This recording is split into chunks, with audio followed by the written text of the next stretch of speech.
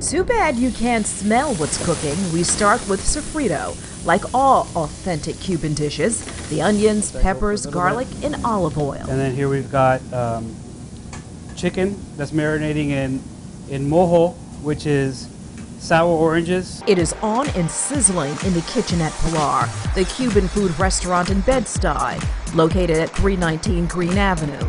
Firing things up is owner Ricardo Barreras. I'm passionate about uh, traditional Cuban food, really the food that I grew up with in Miami, uh, when I learned how to cook. I started cooking with my grandfather, and um, that's what I dedicate myself towards here, just to making classic Cuban food, but really from a modern, elevated approach. Nothing says Cuban classic than the Cuban sandwich. Many have tried, but Ricardo and his sous chef Mario have raised it to an art. They make it a point to start at the bite with the bread. Right here we have our Cuban bread that's made for us exclusively by uh, a bakery, a local bakery. Now this is how you make a Cuban sandwich. The ingredients are a really great uh, bone-in uh, smoked ham, plain old yellow mustard. It works better than Dijon, nothing fancy here. Okay. I, I don't like yellow mustard, but it, it goes on the Cuban sandwich. I tried it with Dijon. It just didn't work as well. but the fat content that we get from the pork and the cheese and the ham needs to be cut by that yellow mustard. Good old dill pickles, kosher dill pickles. Mojo marinated roast pork. Again, the, the we get um, pork shoulder, and we marinate it in the sour oranges and the garlic and the oregano and the cumin overnight. Next comes the ham. Around two or three ounce, two and a half, three ounces of ham. And then we got some really good imported Swiss cheese.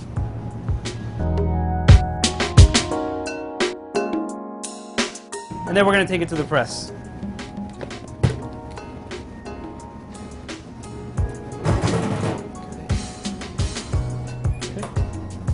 plain old butter. Okay.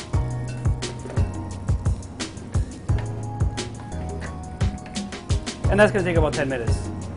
Cuban cooking is in his blood. Here he is as a teenager, roasting a pig. When I was 17, in college, we were making, you know, we went to went to University of Florida with a bunch of my Cuban friends. We were like some of the few Latins there, right? We were in Gainesville, Florida by Georgia.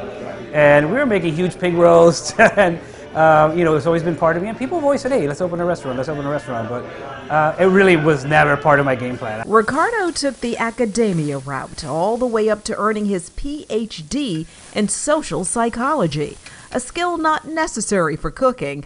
But when passion keeps calling, you answer. That's how he ended up with a second career in the kitchen.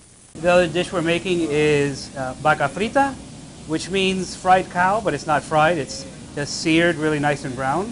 The deeper passion is seeing Cuban cooking at its root.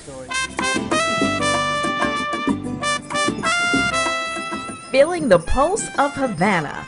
What's Eating Harlem is in Cuba as Ricardo visits this Cuban restaurant. Just like at Pilar in Brooklyn, this Cuban chef starts like Cuban cooking everywhere. Y la salsa está incluida cuando ya tiene el comino. Un sofrito con comino, orégano. La salsa tiene todo incluido. Todo eso incluido. So it's, it's, a, it's a very typical uh, Creole um, version of, of seafood. As Ricardo checks, confirming what is done here is what he does back in Brooklyn, he reflects on his first time in the country, now more open, welcoming him to his ancestral home. My parents are Cuban American, and and um, you know they basically fled Cuba, so yeah, they were displaced. Um, you know, they, they left everything. Now that he is here, he is in love with the food mm, wow. the country. Uh, we, we want to keep it Cuba. You know, it's such an authentic place that, um, you know, hopefully we are able, they're able to strike some kind of balance, you know, to keep its authenticity and its, you know, its, um, its realness. By the way, Pilar, the name of his Brooklyn restaurant, is the name of the fishing boat of longtime Cuban resident author Ernest Hemingway. From Cuba back to Brooklyn, where the authenticity continues. Okay, so we've got the sofrito, we've got the chicken stock, uh, we've got some tomatoes, we got oregano, we've got garlic and bay leaf, and we're almost set. It also has a little bit of saffron in there. Customers at Pilar, big and small, are eating it up. We ordered rice and beans and uh, mai mai.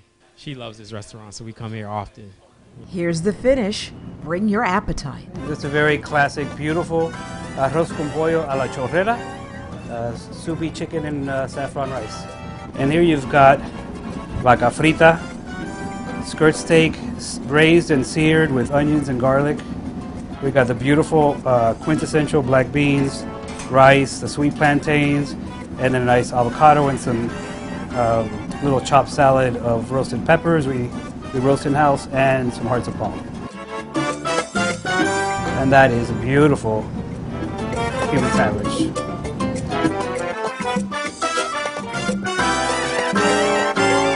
The restaurant is kind of an obvious, it's an obvious fit for me.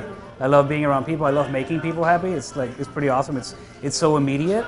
Um, and, uh, you know, it's something that I feel I do really well and makes people happy. And it just, uh, it was a transition I didn't expect, but really ended up nice.